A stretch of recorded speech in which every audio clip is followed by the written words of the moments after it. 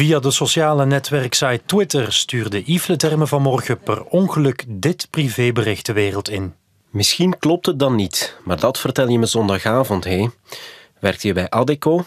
Als ik te veel vraag, zeg maar. Ik wil je niet stalken. Voor wie het mysterieuze bericht bestemd is, weet niemand. Maar dat niet iedereen het mocht lezen, maakte Leterme zelf duidelijk door het meteen weer te wissen. Het is niet helemaal duidelijk wat hij bedoelde. Uh, het lijkt alsof dat naar een, een, vrouw bedoeld is, als een privéboodschap, die bij iedereen is terechtgekomen. Um, wat natuurlijk heel, heel pijnlijk is. Het, is. het was zeker niet zijn bedoeling dat dit gebeurde. Uh, en in zijn positie wordt dat natuurlijk uitvergroot tot en met. Het is niet de eerste keer dat Leterme een privébericht op zijn publieke account zwiert. Eerder dit jaar maakte hij vanuit Congo een privébericht openbaar waarin stond dat hij een vrouw beter wilde leren kennen. Politici en Twitter een gevaarlijke combinatie, vinden specialisten. In dit geval is het, is het gevolg van de fout heel beperkt, denk ik.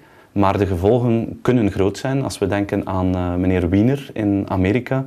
Die man heeft een vergelijkbaar incident gehad. En dat kost hem nu waarschijnlijk zijn job. Dus het kan op zich wel heel zware gevolgen hebben als je zo ja, gevoelige informatie publiek verspreidt. Twitterkoning Vincent van Quickenborne heeft begrip voor het foutje van Leterme. Nochtans was het dezelfde Leterme die van Quickenborne ooit op de vinger stikte toen hij een foto van zijn blote voeten tijdens een ministerraad twitterde. Ik vind dat absoluut niet erg. Ik vind het uh, fijn dat een premier in ons land ook rechtstreeks met mensen de communicatie aangaat. Uh, ik zou graag dat alle politici dat zouden doen en niet alleen bij verkiezingen. Premier Leterme zelf reageerde liever niet. Ook niet via Twitter.